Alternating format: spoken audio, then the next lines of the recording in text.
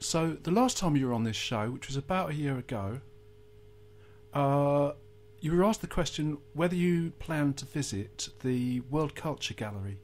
And I have done. You have done. I have done. Well, this is this, This is brilliant. This is brilliant. Uh, masks. I like masks. Those of you who have ever seen one of my story shows will know how much I like masks. I make big masks and little. Ones. It's got lovely masks in the uh, in the RAMM.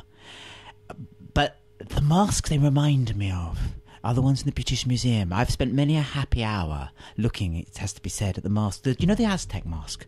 The one of Quetzalcoatl, I can never pronounce his name. Is the Aztec um, smoking mirror god, smoking mirror. So he's the jaguar god. He's the black creator. So he's the one they sacrificed 10,000 people a week. Uh, once a year, the Aztecs would sacrifice 10,000 people in a weekend to a god and he's that god. And in the British Museum, but they have another version of it in the RAMM, and I have seen it there. They have this wonderful jade skull that is a skull. And you can sit there and you could look at these eyes, and this was the skull that the priest wore when he was sacrificing God knows how many people, but was also itself a human skull. So you've got all these really dark energies, these dark stories going off this mask. And I remember last time I was in the RAMM, they don't have a full Aztec mask, but they have some of those kind of ritual masks that you look, they look back at you and you sit there thinking, I wonder what you've seen. Because a good mask makes you always wonder what it's seen, because it looks at you with real living eyes. Um, which I sort of hope, yeah, which is also what I think stories do. Actually, a story, a good story. If you hear a good old story, you wonder who else has heard the story, and you can hear all the history should carry you along in the story. so, do you do you think there could be more stories just based on looking at all the masks in in the round? Oh yeah, certainly, certainly. I mean, I'm. The thing is with stories, it's for me. I mean, a good mask tells its own story in a sense because it's looking at you with its history. It's looking at you with the story, and uh, so uh, as an artist, when I'm got my artist head on, I would tend to respond to that by not telling the story of that mask, but by telling a story that was doing the same game, looking at you with a history. Um, uh, so I'm always very indirect in my response to these kind kind of things. Um, the stuff that we do that is closest to being directly inspired by looking at masks in the RAMM or going to the British Museum and looking at stuff would be the Monster Carnival stuff we do, which is all about the monsters. So that, that's the one where we let the masks free from the stories and they can tell their own stories. So we let the monsters free. So we have uh, Nosferatu come and offer to um, he offers immortality if you will allow him to take your soul away and all kinds of things like that. And we have that as a separate sideshow. We do it as a festival sideshow and we're developing even as we speak a theatre show on it. So you never know next year you might be able to come to the monster carnival the theatre show um, and bid with nosferatu sell your soul see how high you can go. Surprise and we end that with the devil being summoned and I come in and as a sort of very large devil.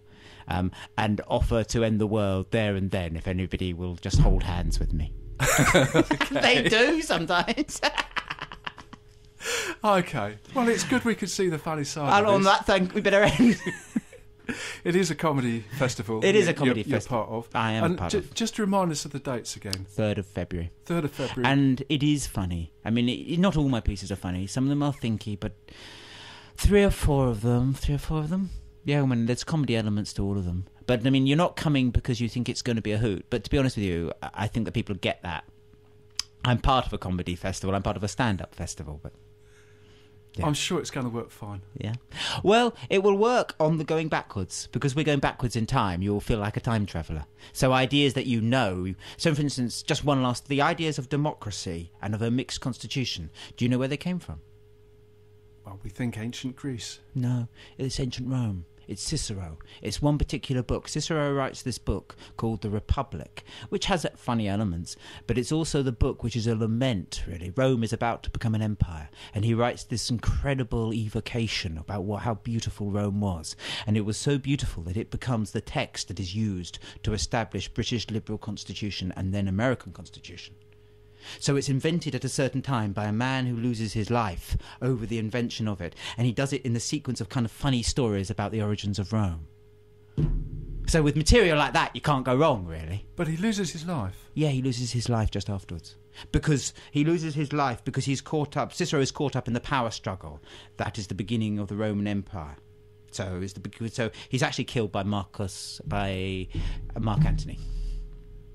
Um, he's uh, judicially murdered by Mark Antony, and he's done that because he's, he's as he does this series of speeches called the Philippics, who are attacking Mark Antony, but he's attacking him for because he's betraying this constitution, and at the same time he's writing this book eulogizing through a sequence of quite funny stories about turnips and all kinds of things the Roman constitution, which then enshrines, which then becomes the working text for the for for liberal democratic constitution, the idea of mixed authorities, the idea that you have a president, you have a, an assembly, an executive government, and an electorship, and that they're all separate and they all have different roles, is datable to Cicero.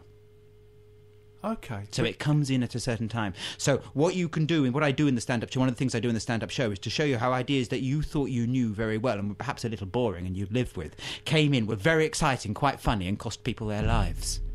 So you kind of make um, history terribly dramatic, Well, yes. which is what I do in the stand-up show. And you're going to fit all of this into two hours. Easy peasy, Okay. easy peasy. And the rehearsals, as it were, are on on on your show. Oh, they're on the Phonic. show. Yeah. Well, Effe- yes, uh, if you're particularly unlucky, if you go down to the meadows every afternoon, I'm usually there shouting. Okay. or on on Phonic FM or on Phonic FM on 10 106.8. 106.8, 9 till 10. Okay. Brilliant. On a Thursday. On a Thursday. And, just before um, you. If you if you miss Melvin Bragg, he's got a very good archive, by the way. Yeah. So that's no problem at all. Trouble is, you see, that distinction between high culture and everything annoys me so much that I, I'm not. No. Okay. Well, here is um, by chance the um, the Northcott Theatre also has a performance of Copacabana. So I thought that would be good music to get us back to um, musical daytime radio. So uh, coming up, fro um, this is um, a remix on Barry, Barry Manilow.